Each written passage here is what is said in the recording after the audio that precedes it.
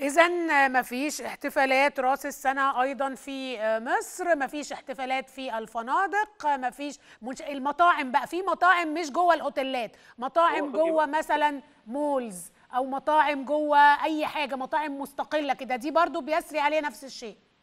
بصي حضرتك هي الساحة مش هترجع إلا لو حصل آه، آه، الوضع أصبح مستقر أو تحت السيطرة.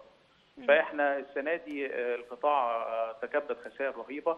ودي نتيجة طبعا ال- الأحداث اللي هي العالمية فطبعا مش هتيجي على رأس السنة وهنتمسك بيها ونقول مش عايزين لا طبعا لا بسأل نحتفل. أنا مش بتكلم عن السياحة بس أنا بتكلم عن المصريين كمان أنا مش بتكلم عن السياحة بس ما إحنا عايشين في يعني البلد حضرتك لسه كنت بتتكلمي مش من المنطقي إن آه، الصلوات في الكنائس تبقى ملغية والجوامع بعدد وإحنا نعمل. حفلات مظبوط وبعدين طبعا إن إحنا ننادي إن إحنا نعمل. صح. حفلات ونزود ال ال ال الأعداد طبعا. منطقي جدا. بصوره كبيرة فبالتالي زي ما قلت لحضرتك السياحة مش هترجع إلا لما يحصل سيطرة على صحيح آه، هذه الجائحة الفيروس